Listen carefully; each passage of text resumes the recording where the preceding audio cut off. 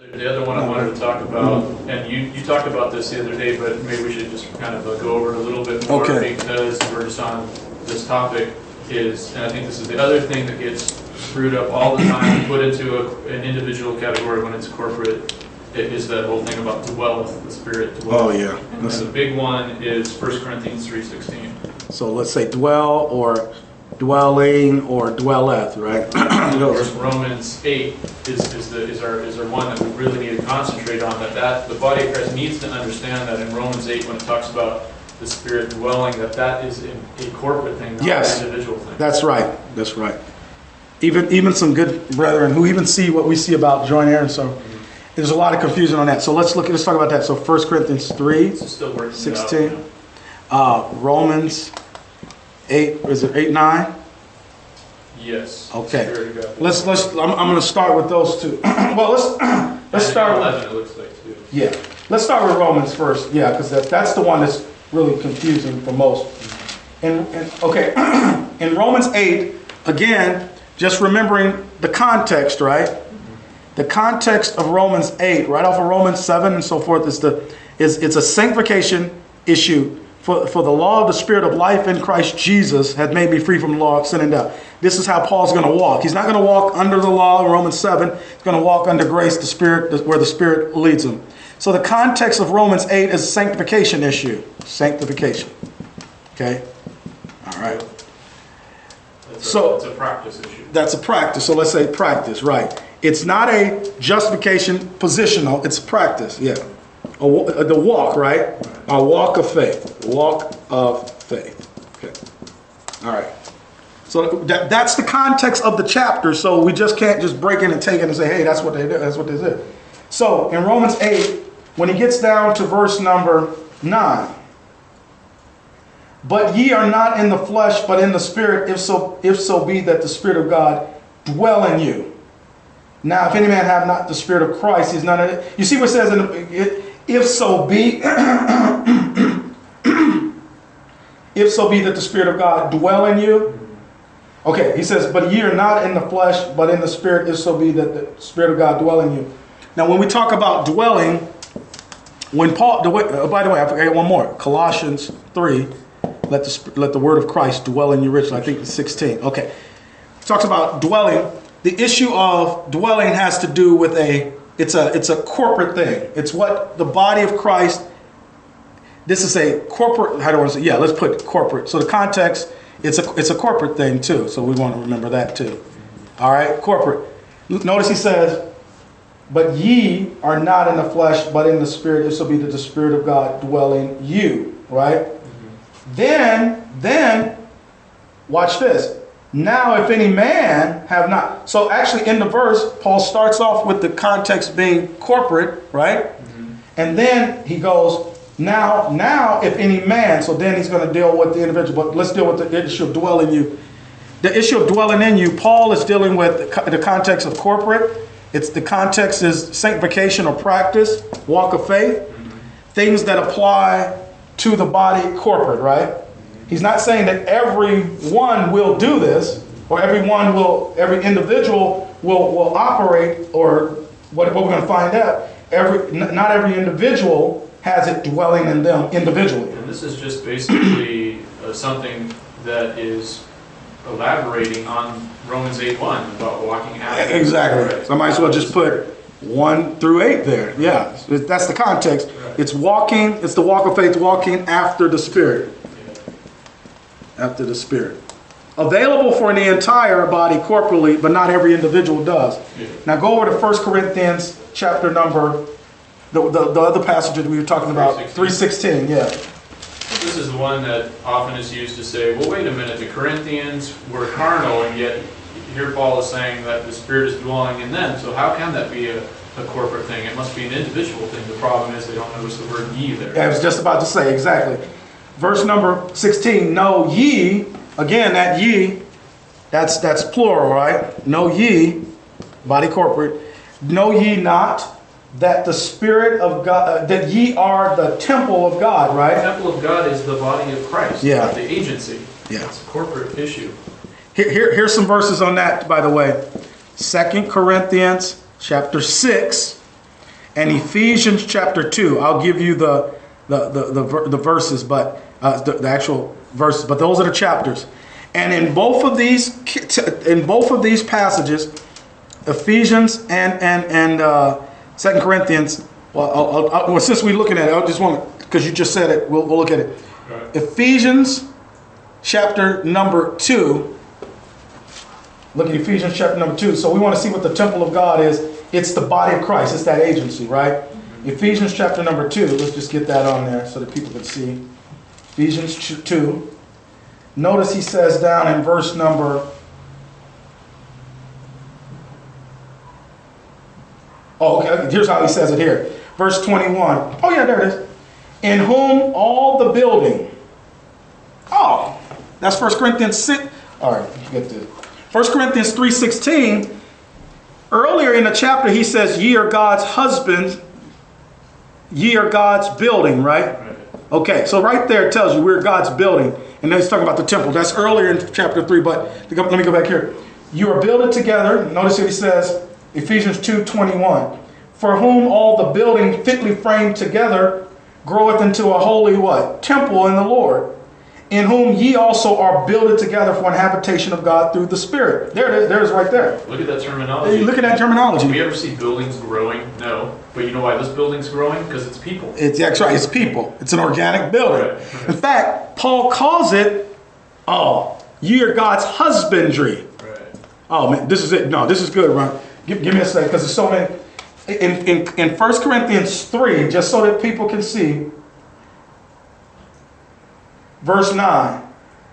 For we are, la- so that's Paul and Apollos in context, are laborers together with God. Ye, that's the body, right? Ye are God's husbandry, ye are God's building. Okay, check this out. What, what, what verse was that? I, I'm sorry. 1 Corinthians 3. Okay, so in 1 Corinthians 3 9, And that's the labor of love. Here, laborers together. yes, this is a labor of love context ministry. But this is a corporate issue too, right? Because not every member labors. Exactly, it's corporate. So in 1 Corinthians 3 16, remember he already set the, the precedent that we're the husbandry, we're the building. That goes to Ephesians 2, right? Look, look at you said, look at the wording, you're right. Look at chapter 2, verse 21 and 22. All right, just putting it together. In whom all the building, 1 Corinthians 3 9, fitly framed together groweth. You said, how can a building grow? Because it's people, right? It's that husbandry, right? Mm-hmm. Into a holy temple. So it's a temple, and you know it's a temple. Holy temple in the Lord. Now watch verse 22. In whom ye also, the body, are builded together for an habitation of God. So that this this this issue of the habitation where, where God abides, his habitation of God. Now notice he says through the Spirit. Through the Spirit. Now, when he says through the Spirit, that ha- that's how he does it. That's why why Paul talks about the Spirit of God dwelling in you corporately, right? So when he goes to Romans 8, he says, the Spirit of God, the Spirit of God, it's through the Spirit, the Spirit of God dwells. Again, that's corporate, right? That's that's everything that he's talking about here. Husbandry building, a building that grows, husbandry, it's a people.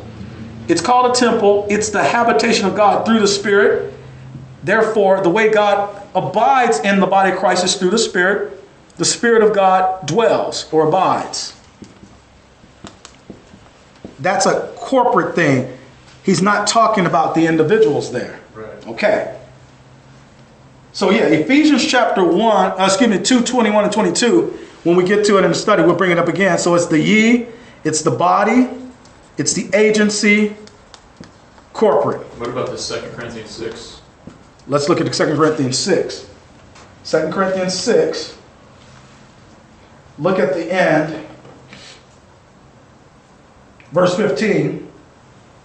He talks about being une- not unequally yoked. Start at verse 14. Be ye not unequally yoked together with unbelievers. For what fellowship hath righteousness with unrighteousness? And what communion hath light with dark? Just for the people who may here see this.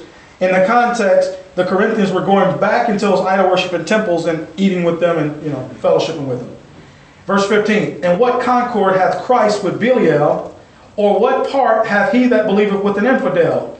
Now watch this. And verse 16, and what agreement hath the what? Temple of the living God, excuse me, the temple of God with idols. So first thing I want to show is that you know, for when we, we already saw the Spirit of God dwells and abides, it's a habitation of God. He calls those saints the temple of the living God. Okay? So that's that's definitely corporate. The temple of the living God with idols. They were going to idol worship. For ye, okay, there's our word again. Ye, plural, body corporate, ye. For ye are the temple of the living God, as God hath said, I will do what? Dwell in them. There it is again. I will dwell in them. Key word is them. It's corporate, them. I will dwell in them, and I will be their God, and they shall be my people. That is that is what the Bible. That's that's the body of Christ. So, but, so Paul is taking a, a reference from uh, Israel's Yeah, yeah, program and exactly. saying that this this is something that is applicable or, or uh, it, it it's germane to how God deals with the body of Christ. especially especially in his early epistles, like we saw at the book of Romans. Remember, he went back to Isaiah 52, and he takes that snapshot out of that and said, "This is an interdispensational principle." Right. This is what's going on in this agency. And notice, notice that quote is about the nation of Israel, right? All Israel was God's people. And that's what people have to remember. The entire nation was his people. Even when they were in rebellion, they were still his people. The body of Christ, even in rebellion, is still God's people, right? It's, so, so this is a sanctification, body, agency, corporate issue. He says, now watch this. Wherefore, because of that, now check this out. Paul does the same thing in Romans 8 that he does in 2 Corinthians 6. He'll use, he'll say, because this is true, right? Because this is what God is doing with the agency, let the individual have a have a certain mindset, right? All right, watch this. Paul does it. Even in Romans 8, you're going to see Paul say something general about the body, and then he'll say, For I reckon, right? I- we can't even get into that today because brothers don't even understand. Like when Paul says, I reckon, he, he, is, he is walking in line with that truth, for that corporate truth. He's truth. saying, here's your pattern. Yes. Mm-hmm. Do And the problem is, not everybody reckons. Yep. Hold on, watch this. Romans 8, for I am persuaded, right? Now look at this. This Look at is this. his example. Exactly. And follow me and all that, right? When Paul goes into those personal pronouns like that, especially when he says, I reckon or I am persuaded, he's also saying, on the other hand, I would like others to reckon this way. Right. I want others to be persuaded. Mm-hmm. But he also is saying, I know, hey, not everybody's going to reckon this, and not everybody's going to be persuaded. Mm-hmm. Because your attitude about suffering matters to Christ. All right, ooh, this is good. So check this out, right? So he goes from telling you how God sees the body, just like with Paul, it says, hey, won't you be do like I do, be a pattern. So he goes from the agency to the individual. He's going to do it in chapter 8, verse 9, too. I'm going to get back to that. Here's the agency truth. And then he says, because of that, verse 17, that word wherefore is the key. Wherefore, because of that, what I just told you, wherefore, come out from among them, the them is the unbelievers, and be ye separate, saith the Lord, and touch not the unclean thing, and I will receive you. That that lines up, Ryan, with if any man have not the spirit he's none of his, you know, that receiving. How is it that God is talking to people who, who already are saved, right? He's saying, I will receive you. Is he saying that if that he hadn't received you, even though you're saved? No, well, there's that issue of justification, sanctification, right? Right. Position versus Position versus practice. He goes from giving you a corporate truth of how God sees you, saying, Wherefore now do what God wants you to do. That's what he's doing. In Romans 8, verse 9, go to that one real quick too, because he does the same thing there. This is what confuses people. So good, we'll have this on the record so that people can see. it. In Romans 8, verse 9, he does the same thing. but ye are not in the flesh, but in the spirit, if so be that the spirit of God dwell in you. Now, if any man have not the spirit of Christ, he is none of his. Notice he changes that to the spirit. Uh, he says, if any man. Okay, now he goes to the individual there. You see that? And now he talks about the spirit of Christ. Now, by the way, Paul just called the spirit of God, the corp- corporally, here's what I say. When he's dealing with the ye, the entire body, corporally, he used that term spirit of God, right? Right. But he purposely didn't call it the Spirit of God in the next part of that verse. He calls it the Spirit of Christ, right? Because we want to build Christ in us. That right there, that's the individual thing that you choose to do, any man. Yeah. If you don't have that mind of Christ, That's the mind of Christ, right? The Spirit of Christ is the mind of Christ. Now, watch this. sanctification principle, not a justification principle. Oh, exactly, sanctification. Now that takes us to. So everybody got that? That takes us to Colossians 3:16. Let's go to Colossians 3:16. Because this is what Paul is talking about when he says, "If any man have not the spirit of Christ, he is none of his." We'll go to 2 Timothy later too, but Colossians 3:16 verse 6. 16, 16, pardon- 3:16, pardon me. Mm-hmm. See the first word is what? Let That's, yeah, that's a grace word. that's a grace word, a choice word, right? Mm-hmm. A grace word of choice. This is not something that automatically happens. This is something that you And allow. it's not something that's mandatory. No. It's something that you allow and it's not mandatory for, for, for salvation, justification. Free will, choice, Right. or something, yeah. Not mandatory. So it's the second part. Okay, so let, that's the key right there. Let the word of Christ dwell in you richly in all wisdom. Let me stop right there. So when he says, let the word of Christ, he calls it here the word of Christ dwell. That's what I want to see. If Paul tells us to let it dwell, that's a choice right? That word dwell there. This is something that it's a choice. That dwell means to abide or to be at home with. There's certain things when he uses the word dwell, particularly with the Spirit of God, that he focuses on the corporate, right? The corporate body of Christ.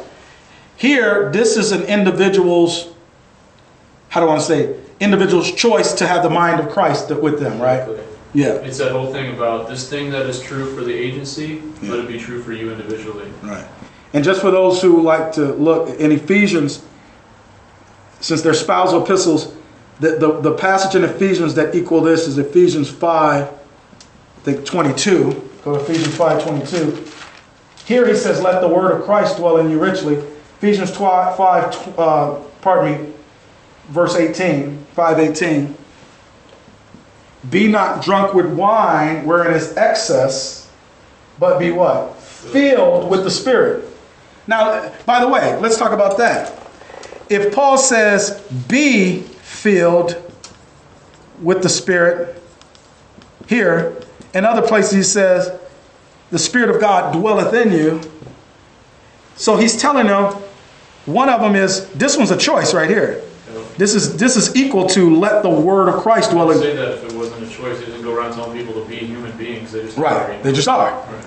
if the spirit just if you're if basically in other words if you're filled with the spirit already he wouldn't have to tell you to be filled. There you go. So If the good Spirit was automatically dwelling in you, you wouldn't have to tell you to have to dwell